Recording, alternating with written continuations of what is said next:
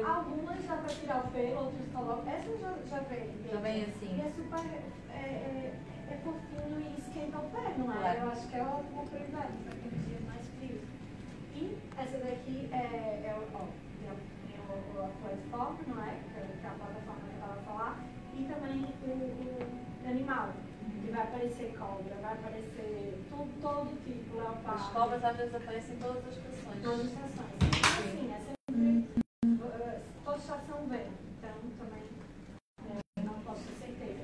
Muito bem, portanto, aqui alguns dos eh, sapatos tendência desta estação e inverno. Enfim, eu trouxe algumas imagens de, de desfiles Ah, para a gente ver. ver as Analisar. carteiras. Exatamente. Muita cor. É, sim, tem muita cor e essas são as carteiras siamesas ou é, a mãe e filha, são, são digamos. duas. Aqui Sim. são duas, aqui é uma mais pequenina e uma maior, é isso? Exato. As siamesas são essas que parecem duas, mas são uma, na verdade, que eu acho super diferente.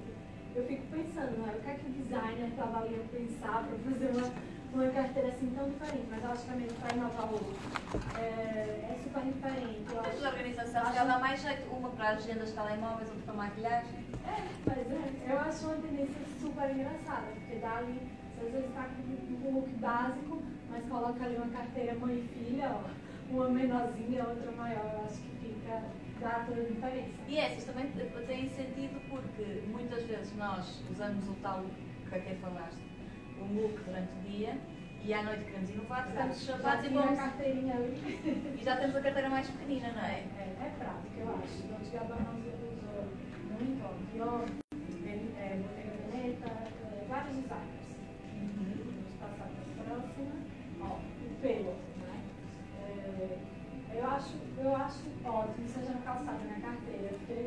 A sempre com as mãos frias, vai lá na carteira, ó, Já se agarradinha à carteira, não a perde, não é? Porque está ali a aquecer-se também.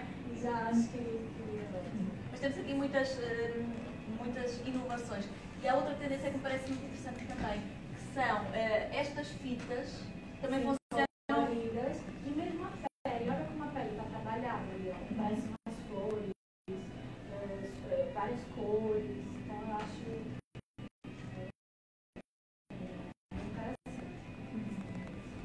Diferentes criadores.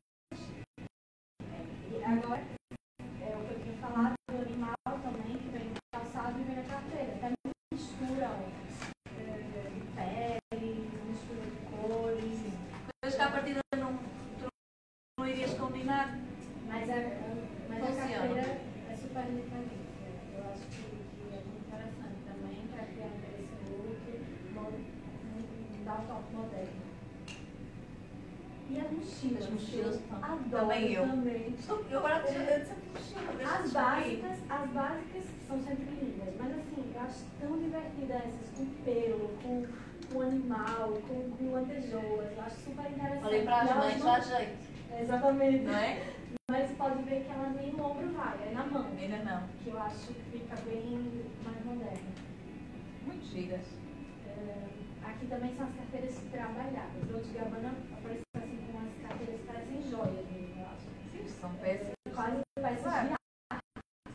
Dá pra colocar na sala de casa.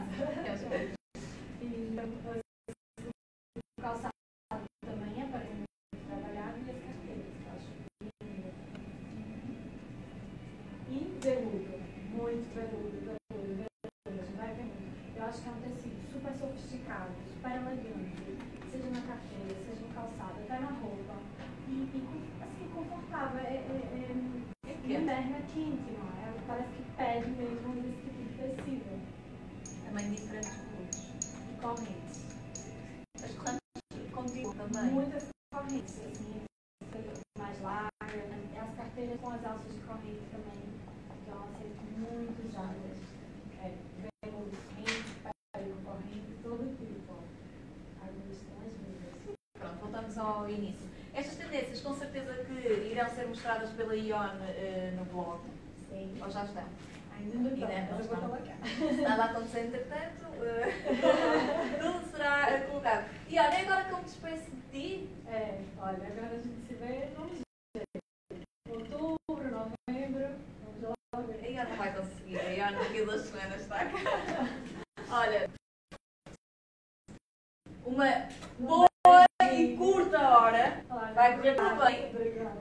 Agora é contagem regressiva mesmo. Maravilha. Faltam poucos dias. Estar em, em, em direto em primeira mão, quase. A Patrícia, muito obrigada, obrigada Ione. Deixamos então aqui as tendências de sapatos e também de carteiras para esta coleção outono e inverno. Vamos seguir em frente, temos o nosso Vasco já à nossa espera. Temos uh, separador? Temos. Vamos falar sobre segurança nas uh, redes sociais. Então,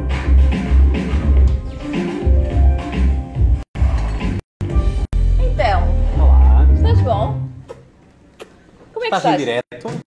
Como é que se diz? Eu Eu Estás em sabia direto? que estava em Está em direto. direto duas vezes já. Mais uma vez. Estamos, Isso em- é, isso é um forró. estamos aqui em direto para o Facebook. Para quem quiser também acompanhar, vamos estar por aqui para fazer perguntas. Vamos mudando. Se colocar em ti muito tempo vai ter muitos likes. Se eu colocar para aqui, se calhar vai ter menos likes. Portanto, vamos mudando. Vamos alternando. É que os teus Olha. seguidores são muito fiéis. Muito, muito. Olha, eu começo por esta novidade que antecipei há uma semana atrás, que foi o livro, mas há uma Sim. semana atrás era um rascunho, portanto era uma impressão de teste. Ah, este é este é o- que é o livro a sério. Ah, e é para ali? Exatamente. Ah, o é? claro que sim, Obrigada. claro que sim. Olha que giro.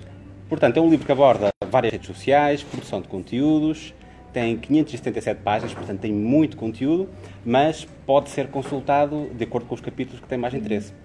Se queres entrar no Instagram, vês o capítulo do Instagram, várias caixinhas, tem muitas imagens, é muito fácil de consultar para qualquer nível. Quem está a começar ou utilizadores Ok. avançados. Muito Já agora, aproveito para dizer que no dia 28 de setembro temos o lançamento em Braga, na Universidade do Minho, e no Luís, dia em Braga. Luís convidado, muito convidado, de certeza absoluta, Que hora sei? Às 6 da tarde. Então, Luís, não pode. Dia da semana? Eh, É uma quarta-feira, pensou. Não, tens que pedir para faltar. Olá, Maria. Não é assim um grande sacrifício. Tem que pedir uma autorização. Uma autorização. Exatamente.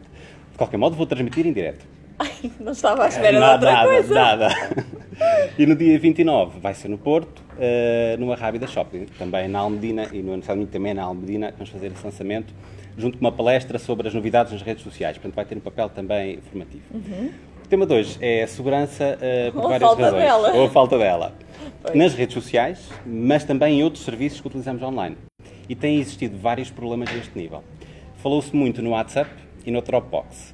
O WhatsApp foi o fenómeno mais, mais partilhado. Deves ter visto muita gente a partilhar no WhatsApp para não partilhar os dados com o Facebook.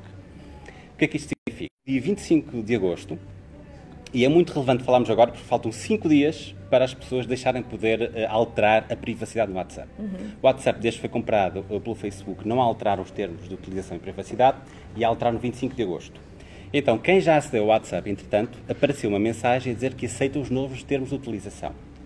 E se aparecer esta mensagem, se entretanto for agora ao WhatsApp, pode não aceitar, ou, aliás, pode não autorizar que ceda a informação da.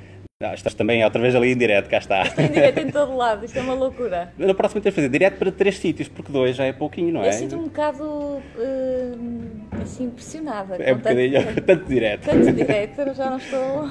Então no WhatsApp, eh, nós podemos não aceitar que o WhatsApp ceda esses dados ao Facebook. Portanto, o Facebook Ah, é está essa a fazer? É essa opção.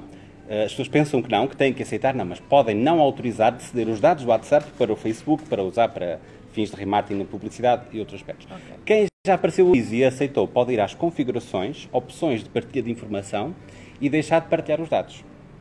Eh, e então não autoriza que o Facebook utilize os dados e continuamos amigos na mesma. Portanto, continua a utilizar, tudo bem. Não há há pessoas que não nenhum. querem, não há problema nenhum. Se aceitar Olha, eu já partilhar os dados, tornei o não meu. aceitar, Falar nisso, o meu Instagram profissional. Ainda não consegui fundir as páginas. ok, está No difícil. Não está fácil. Mas vamos conseguir, Sim. vamos conseguir. Ok. Mais aspectos de segurança. Eh, um outro muito falado foi no Dropbox. Quase toda a gente utiliza Dropbox. Então houve um ataque em 2012 e só agora se falou nisso porque essa base de dados de eh, quase 70 milhões de utilizadores foi colocada à venda. Apesar de estar encriptada, há é, é problemático. Então o que é que as pessoas devem fazer?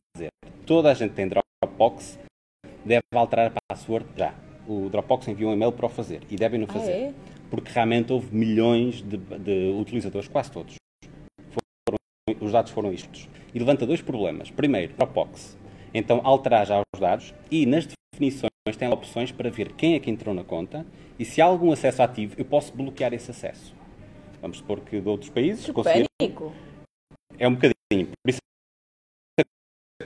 convém atuar já. Uh, e uma outra coisa muito importante é ativar a autenticação dos dois fatores. O que é que isto significa? Que este é uma, é uma medida de segurança em quase todos os serviços, Gmail, Facebook, serviços, eu diria que é obrigatório fazer isso, a maioria das pessoas. O que é que isto significa? Se alguém, imagina que eu deixei o meu Facebook ligado aqui ou o meu Dropbox ligado aqui, no Porto Canal, eu podia desligá-lo de casa.